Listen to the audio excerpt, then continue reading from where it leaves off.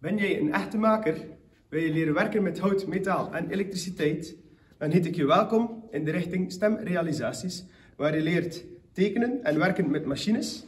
Wil jij dit zelf tekenen en uitlezen? Of wil jij deze Formule 1 wagen een nieuwe voorspoiler geven? Dan heet ik jou volgend jaar welkom bij mij in de klas.